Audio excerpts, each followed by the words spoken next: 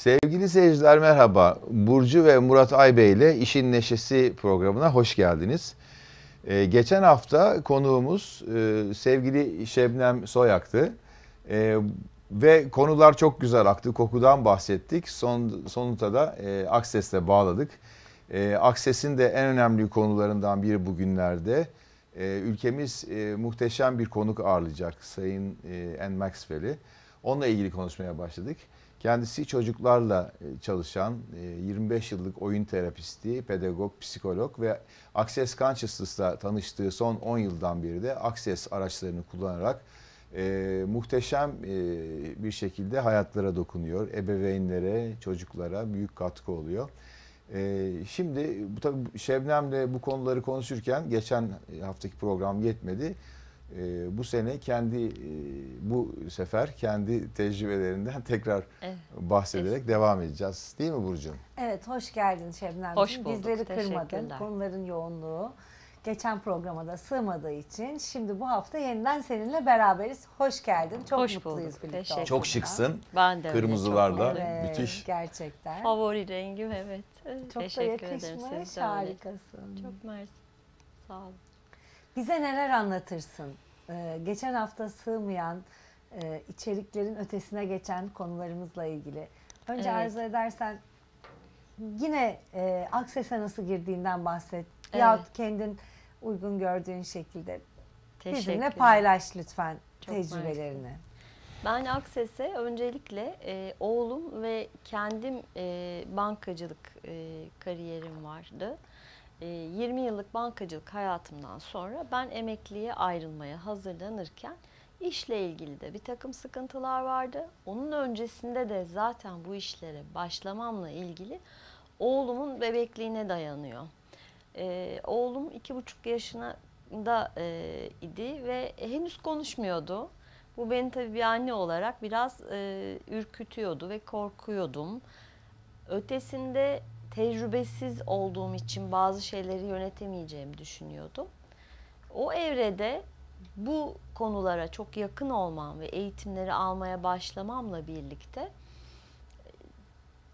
oğluma biraz daha yakın olabileceğim hangi teknikler varı araştırdım. Bu arada da çocuğuma daha yeterli olabilmek için kendisini psikologlara, pedagoglara, işte psikiyatrlara, vesaireye götürüp e, durumunu analiz etmek istedik. Özünde e, üstün zekalı olabilecek konusunda bir şey çıktı fakat geçen defa da değindiğim gibi üstün zekalılığın aynı zamanda bir sınır olduğu, e, dahillikle daha doğrusu e, delilik arasında bir sınır olduğu gibi otizme de kayabilecek konusunda bazı geri bildirimler aldım ben.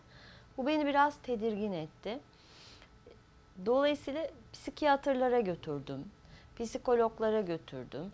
E, her psikologdan çıkarken ağlıyordu çocuğum. Çok mağduriyet yaşamış bir halde çıkıyordu. Psikiyatra gittiğimizde gereği ilaç verildi. Hiç kullanmadık. O esnada yine e, tıbba yakın bir arkadaşım, eczacıdır kendisi. Access Consciousness'ı bana tavsiye etti. Bu alanlara da çok ilgili olduğum ve eğitimlerini aldığım için e, araştırdım ve ne yapabileceğimi görmek üzere öncelikle kendim de iş hayatında bir değişiklik planladığımdan ama bunu nasıl yapacağımı içimde ne olduğunu bir türlü kafamda oturtamadığımdan dedim ki önce kendim deneyeyim bunu bir çocuğumdan önce. Kendim deneyimledim. Ertesi gün hemen eğitimini almaya karar verdim ve aldım eğitimini ertesi gün. Barz eğitimi aldım. Hayatımız muhteşem bir şekilde genişlemeye başladı. Bu arada e, İzmir'de bir profesörle çalıştık oğluma. Kendisi de oyun terapileri yapıyor anaokulu çocuklarına orijinalinde. Pedagojik bilgisi var. E, psikolojik danışman. Onun ortamında gözlemlediği bazı şeyler vardı oğlumla ilgili. Sonra zeka seviyesinin tespitine gidildi. Üstün zekalı olduğu aşikar çocuğun yani okuyor, yazıyor falan. Ondan sonra konuşmaya başladı. Benim endişem ortadan kalktı fakat e, bunu ölçümlemek, değerlendirmek, bunu çocuğa nasıl hitap edeceğimle ilgili endişelerim noktasında bana Access Consciousness'tan başka hiçbir şey yardımcı olamadı. O noktada başladık. Ee, geçen hafta da kısaca girdiğimiz gibi beni en çok ilgilendiren kısmı bu oldu. Şimdi de 7-8-9 Mayıs'ta e, Anne Maxwell geliyor ki e, bence herkesin katılması gerekir diye düşünüyorum. Çağın e, gündeminde çok olan bir şey. Dikkat eksikliği ve sürekli ilaçla çözülmeye çalışılıyor. Aslında çocuklardaki bunu e, durumların bir farkındalık ve çok özel değerlendirilmesi gereken yetenekler olduğunu biliyoruz. İşte otizm, dikkat eksikliği, hiperaktivite bunların daha kolay çözmek demeyeceğim çünkü sorun değil. Bana göre de sorun değil. E, fakat nasıl değerlendirilebileceği e, ve nasıl onların aslında bizim evrenimize adapte olabileceği. Yani hep şunu düşünmüştüm ben kendi çocuğumu da gözlemlerken. Acaba bizde mi eksiklik yoksa gerçekten onda mı? Yani burada hep tereddütüm vardı. Ee, olağanüstü durumlarla. Biz böyle girdik. Ve benim hakikaten iş hayatımda da oğlumun hayatında da çok büyük değişiklikler oldu. Ee, otizme benzer semptomları vardı. Belki üzerine gitmeseydik otizm teşhisiyle değerlendirilecekti. Bu teşhisi konması kötü müdür? Elbette ki değil. Bana göre access consciousness var, çaresi var şeklindeyim. Ancak yanlış bir teşhis olacaktı ve çocuğu yanlış yere götürüyor olacaktık. Onun için e, geçen defa da belirttiğim gibi minnettarım. Büyük kolaylık. Bir tecrübe e, başka bin tane anlatılan şeyin ötesinde bir enerji, bir bilgi, bir, bir bilinç aşılayabiliyor. Çok teşekkür ederiz bu tecrübeni bizimle paylaştığın için. Çünkü büyük bir kolaylık sağlamışsın. Kesinlikle. Ee, onun ötesinde e, bu yolculuk çok uzun bir yol tabii ki de. Evet. Başka neler e, mümkün birlikte bunları bize Evet. aktarırsan çok mutlu oluruz. Evet yani o aşamada ben e, şunu belirtebilirim. Niye çocuklar üzerinde duruyorum? Herkes üzerinde biliyorsunuz. Yani herkes üzerinde etki aldığımız bir şey. Access Consciousness'ın her alanında çok farklı farkındalıklar açılmasıyla insanlarda çok rahatlamalar gözlemliyoruz. E, ancak hani gündemimde hep o var. Herkes için en kıymetlisi evlatları. Evlatlarımızı Tabii. getirdiğimiz değerler var. Keza sizinkini de aşağı yukarı biliyorum. Benim bu durumdaki çocuğum için öngörebildiğimiz, e, hiç kimsenin hiçbir bilgisi olmadan vasat yetişebilir, vasatın altında bir zekaya sahip olabilirdi. Ben o dönemde Access Consciousness'ı desteklediğim Üstün Zekalılar Derneği oldu. Yani hep onların bize geri bildirimde, katıldığım seminerlerinde algıladıklarım, anladıklarımla Access Consciousness'ın bana verdiği e, kolaylık hep aynı doğrultudaydı ve ben bunun gerçekten bilimsel bir teknik bir şey olduğu konusunda netleştim. E, şunu söyleyebilirim. Bütün yetenekleri keşfedildi. Hatta belki ülkemizde şu anda çok yerde yapılmayacak bir şey. Hangi mesleklere yeteneğinin olduğuna kadar çocuğun kendi kendine netleşmesine izin verdi. Keza Access Consciousness'ın ortaya çıkmasıyla benim hayatımda birçok teknik vardı. Ee, ilk defa bir şeylerin benim ayağıma geldiğini böyle tabir edebilirim. Benim bir şeyler için uğraşmadığımı, gerçekten çözmenin, kendinin farkına varmanın, yaşamanın, e, yaratmanın çok kolay, e, çok bizden, çok içimizden gelen bir şey olduğunu keşfettim. Bunu aşılama noktasında da çok kolaylıklarımız oldu. E, gerek iş alanında, gerek çocuğumu eğitirken, kendi hayatımdaki bir takım e, takıldığım noktaları diyeceğim. Kendimizi durdurmak olarak adlandırıyoruz. O noktaları yakalamama ve anda çözmeme sebep oldu. Yani bir şey hep daha önce şey gelirdi. Bahsettim daha önce de ben bundan yıllar önce. şunu yapman gerekiyor, bunu yapman gerekiyor, şöyle olması gerekiyor, şu kadar defa olmalı, böyle olmalı, yöntemi budur. Hayır ilk defa dışına çıktık bunun. İlk defa bunun dışına çıkıyorsunuz ve gerçekten çok kolay, çok çabuk ve çok etkin çözüm alınıyor. 90 doğumlu e, kızımız onu büyütürken ben bir şey fark etmiştim. Evet. Bir şey yap dediğimde asla yapmayacak, yapmıyor. Ve neyi yapma dersem en çok onu yapma eğiliminde. O zamanlar algılayamıyoruz ne olduğunu. Bu nasıl bir şey, nedir? Ben kolay yoldan bir şey yapsın iste, istediğim zaman ona aman sakın yapma dediğimde o onu hemen yaptığını o şekilde bir manipülasyonla büyüttük. Fakat Access Consciousness karşımıza çıktıktan sonra oğlumuz da o çok daha genç henüz. Ee, onun gittiği yolda bize öyle büyük katkı oldu ki gerçekten e, hem Access'in bütün araçları hem de Anne Maxwell'le olan çalışmalarımızdan e, mucizevi şeyler yaşadık. Bu yaratım anlamında yaratımın kaynağının gerçekten kendimiz olduğumuzu fark etmemizle ilgili bize Evet. neler söylemek istersin? Yarattığımız hayatımızdaki iyi veya kötü dediğimiz, adlandırdığımız, tanımladığımız her şeyi Evet. sadece kesin olarak ve başka herhangi bir etki bulunmaksızın Evet. tamamen kendimizin yarattığıyla ilgili. Evet. Bu bilgiden bize birazcık bahseder misin? Ee, şimdi e, çok daha yetkinsiniz ama ben açıklayayım, anladığımı açıklayayım en azından. Beyin gerçekten çok özel bir organ. Organ diyemiyorum, çok farklı bir şey o. Onu ben bir şeye koyamadım hiçbir zaman.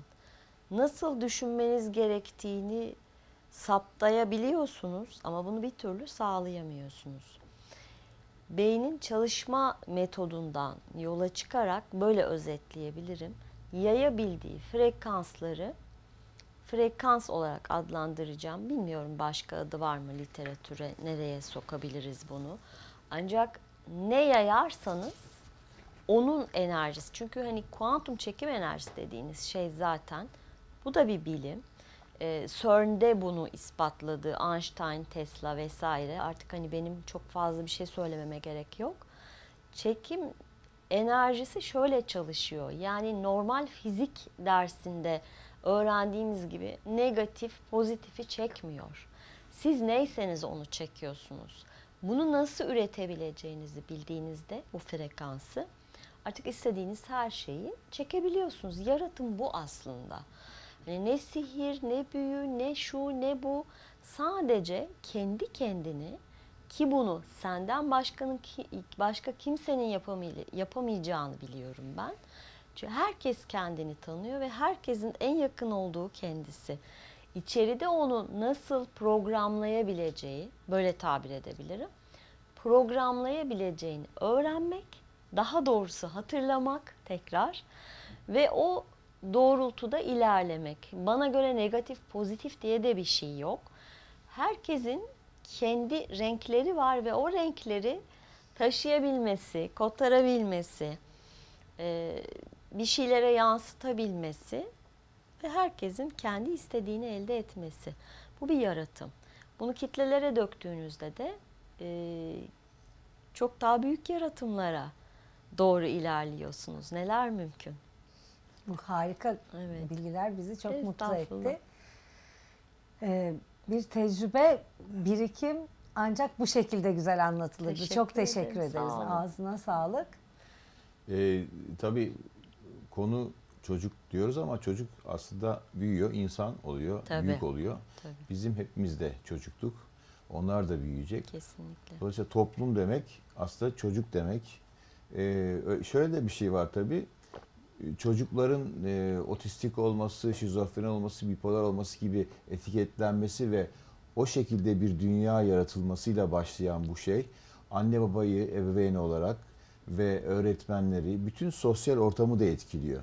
Dolayısıyla bir bakış açısı ve bir e, konudan böyle bir problem tüm toplumu etkiliyor. Kesinlikle. Ee, böyle bir bakış açısı değiştirsek bütün toplumu değiştirecek bir hadise. Onun için Anne Maxwell'in Türkiye'deki bu programı e, toplumun her katmanından insanların bilinçlendirilmesi amacıyla yapılmış bir program. Şöyle ki Anne baba, çocuk, e, ilkokul, anaokulu, ortaokul, lise, özel okullardaki eğitmenler, onların sahipleri, idarecileri, hukuk olarak çocuk e, suçlularla ilgili olarak hakimler, savcılar, avukatlar, pedagoglar, psikologlar, okullardaki PDR uzmanları ve toplumun her kanadındaki, her e, katmanındaki herkesi ilgilendiren bir şey. Evet. Dolayısıyla bir e, çocuğa biz bir e, rol biçtiğimizde e, o rolü oynamak zorunda kalacak şekilde herkes kendi rolünü çok iyi biliyor ve aynı yargıyı, aynı bakış açısını o çocuklara yüklüyoruz. E, bu e, üç günlük e, eğitim ve üç günlük sınıf bu manada toplum yapısını değiştirecek bir yeni bakış açısı veren Kesinlikle. çok özel bir şey. Kesinlikle. Ee, şöyle sevgili Murat, e, şöyle bir şey yaşadık biz ayrıca e, senin konuşmanda aklıma geldi. Benim e, kuzenimin oğluna e, hiperaktivite teşhisi kondu ve bir ilaç uygulamaya başladılar. Nihayetinde yanlıştır doğrudur da değilim ama o çocuk için onun yanlış olduğunu aile ve biz görebiliyorduk. Ee, benim de yeni başladığım dönemlerde Akses'e e, çocuk e, sürekli uyuyor falan yani dikkat toplamak yerine çok daha dağıldığını fark ettik. Ne yapabiliriz'e gittiğimizde yine Akses'le yaklaştığımızda çocuğun çok özel yeteneği olduğu ortaya çıktı. E, şu anda konservatuvarda eğitim görüyor. Yani e, bir yeteneğiniz olabilir, bir katkı sağlayacağınız bir ki bence 8 milyar insan varsa bu dünyada 8 milyarda misyon ve özel yetenek var. Parmak izi kadar eşsiz. Bunu ortaya çıkartmak yerine e, baskılama metotlarını biliyoruz. Yani yine yanlış kılmıyorum. Burada şöyle bir şey var. Bunu biliyoruz şu anda ama neyi bildiğinizi keşfetmek anlamında hakikaten en Maxwell çok değerli. Ve bence herkes bu anlamda ebeveyn olup olmamakla da ilgili değil. E, sizin de bahsettiğiniz gibi herkes buna katkıda bulunmakla yükümlü diye düşünüyorum ben. Çünkü dünyaya katkı sağlayabiliyorsunuz, evrene katkı sağlayabiliyorsunuz, yaşadığınız topluma katkı sağlayabiliyorsunuz ve çekirdekten başlatıyorsunuz.